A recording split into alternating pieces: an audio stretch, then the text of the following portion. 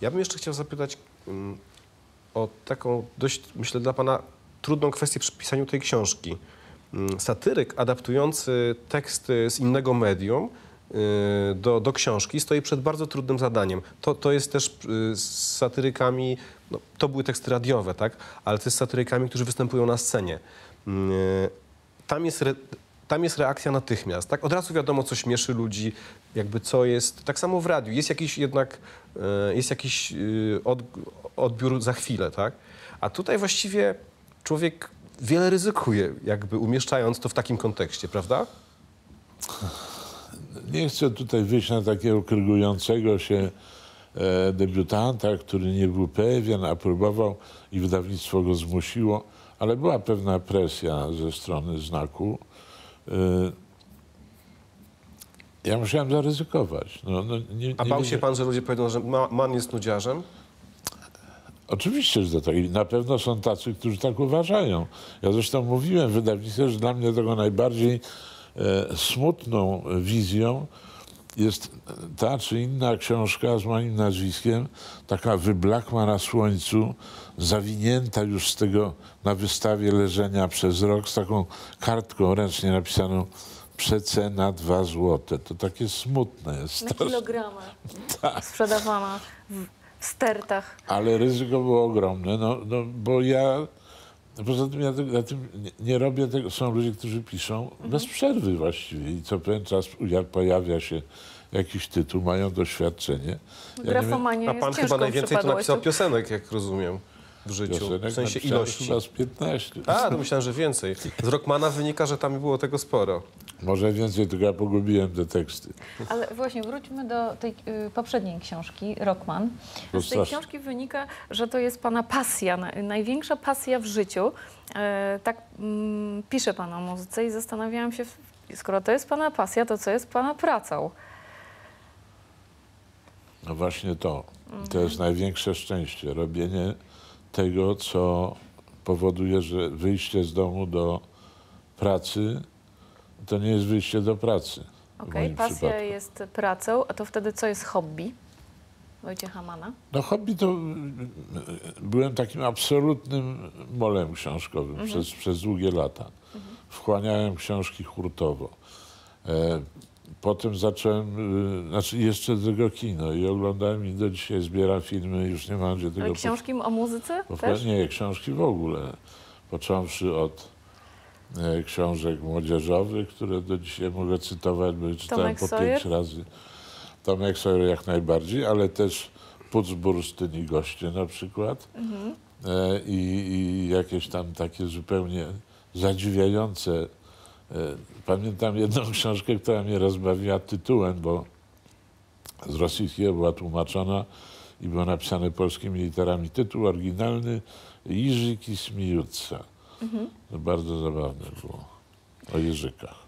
Nie pamiętam w. No i kolekcjonerstwo chyba, prawda? No, ale to kolekcjonerstwo, jak rozumiem, płyt. Winylowe płyty, jakieś straszne No ono- metody, ono którymi jest- pan je to tam opisałem tak. polepszał. Ono, ono jest trochę pochodną tego zainteresowania, bo nie jestem kolekcjonerem etykietek od zapałek ani innych bibelotów, ale to, co z muzyką, to troszkę Ale ma tak pan jeszcze trochę tych winyli? mam. I z masłem je pan smaruje nadal? Nie smaruję, bo, Bo nie- moje winyle są w perfekt stanie, proszę pana. Ale nie musi pan ich teraz sprzedawać, wtedy pan je smarował masłem, żeby je sprzedać.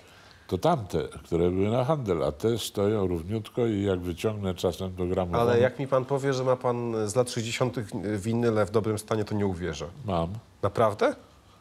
To niesłychana historia.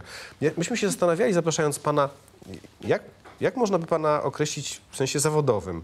I mieliśmy bardzo poważny problem, bo mm, określenie człowiek renesansu, jakkolwiek nieco żartobliwe, dobrze oddaje taką wielość pańskich zainteresowań i zajęć. Yy, I tak sobie myślimy, że no tak, dziennikarz, ale jednocześnie autor, właściwie satyryk też, showman. I tak jak mi przychodziło do głowy, z kim mógłbym pana zestawić, to przyszło mi do głowy, przyszedł mi do głowy Jeremy Clarkson właściwie. Choć on motoryzacją się pasjonuje, bo jednocześnie jest, jest komikiem i jednocześnie jest dziennikarzem. Właściwie nie sposób tutaj tej granicy postawić. To jest bardzo miłe porównanie, bo on mnie e, ogromnie śmieszy, jego pomysły i, i e, sposób prowadzenia programu i, i żarty i właśnie taki e, stosunek do tej swojej pasji. No jak Polskę na przykład prze- przedstawiał, przedstawiał inwazję na Polskę y, polonezami, to było bardzo zabawne, choć Tak. nie wszyscy w Polsce się roześmiali. Ale potem go spuścił z jakiegoś dźwigu tego poloneza, także nie szanuje naszej myśli technicznej. E, Nie, ja pamiętam, że w, w dawnych czasach innego systemu, kiedy nie pracując nigdzie na etacie, bo ja unikałem jakoś szczęśliwie tych wszystkich e, e, prac takich formalnych, musiałem różne wypełniać jakieś takie formularze, to wpisywałem sobie, wymyśliłem taki patent inteligent pracujący. I to już załatwiało sprawę, bo Czyli nie może nadmiernie się jakoś chciałem do tej e, e, grupy inteligentów zapisać. to przez- wydaje się cenzus wykształcenia pan posiada, więc to chyba się pan kwalifikuje. Mam dyplom, czyli jestem kryty. W, w swoich historiach y, o radiu, o, o Pana pracy w radiu, widać fascynację muzyką anglosaską, te wszystkie brytyjskie szarpidruty, e, za którymi Pan przepadał i e, to jest jedna sprawa. Mm, I muzyką e, taką ostrą, bujaną, czyli niesnujowatą. Czy teraz e, e, zmienia się Pana gust? Ma już Pan dosyć tej, bo tylko to słyszymy. Kiedyś to rozumiem tę tęsknotę za tym brytyjskim brzmieniem, a teraz cały czas angielskie piosenki słychać.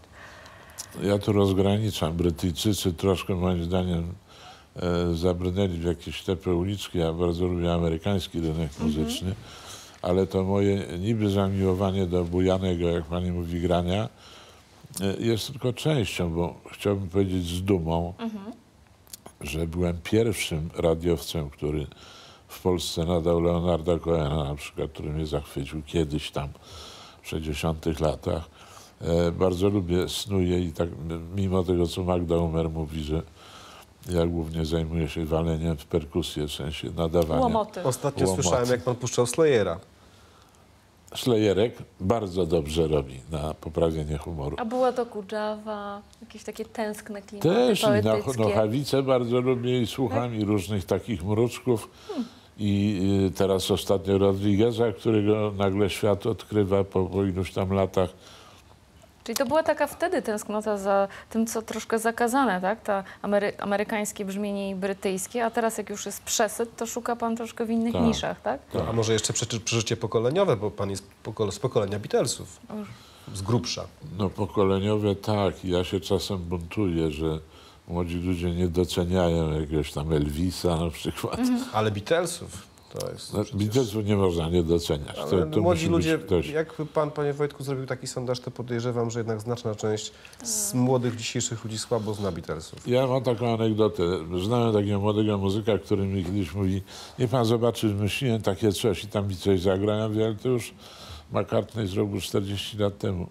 A on mówi, o kurczę, myślałem, że to wynalazłem. Także to wraca. Ale teraz y, y, jest era internetu i tak szczerze, czy, y, czy, to jest, czy to ma dobry wpływ na muzykę, gdzie y, do wszystkiego można dotrzeć, wszystko można zmiksować, wszystko y, razem łączyć? Wydaje mi się, że te współczesne kom- kompozycje cały czas recyklingują y, to, co już było i do tego jest tak łatwo dotrzeć, nie? Mogę zacytować Tadeusza Nalepę, który kiedyś w mojej audycji na całą Polskę powiedział, że jego zdaniem muzyka się skończyła na początku 70. lat. E, Ale to byłoby takie troszkę e, starcze generalnie. Ludzie kombinują, wymyślają, ale że już tyle powstało, no to wiadomo, że się kompiluje, podbiera się te sample, które są pewną formą kradzieży. To jest, ale jest też, y, wydaje mi się, nurt, gdzie młodzi ludzie próbują coś stworzyć, tyle że atak poprzez internet i, i dostępność jest tak furiacki teraz w porównaniu z dawnymi latami, że ciężej jest coś w- I wynaleźć. chyba ciężej też być, e, mieć autorską audycję o muzyce, bo kiedyś, e, nie wiem, zdobywał pan płyty, opisuje pan różne metody, wymienianie się e, tymi płytami i e, czekaliśmy na jakieś polecenia specjalne. Teraz Ale płyta to był przedmiot, płyta to było też... teraz wszyscy do wszystkiego Cała- mają dostęp, więc to musi być bardzo trudno e, taką autorską audycję teraz zbudować, nie? Ja to robię, bo ja bardzo dużo słucham. E, Korzystam z internetu i często, żeby oszczędzić sobie sprowadzania jakiejś płyty, słucham tych takich próbek, które są Tak. dostępne. Korzystam z mojego doświadczenia, wiem, co mi się podoba. Ale wiem, że też są ludzie, którzy szukają rady. Jeśli ktoś lubi mój gust i akceptuje mój wybór, to traktuje te, te przeze mnie już e, wybrane płyty jako pewną wskazówkę, więc to myślę, że komuś może pomagać. A jak ktoś bardzo nie lubi mojego grania, to przynajmniej wie, co ma omijać.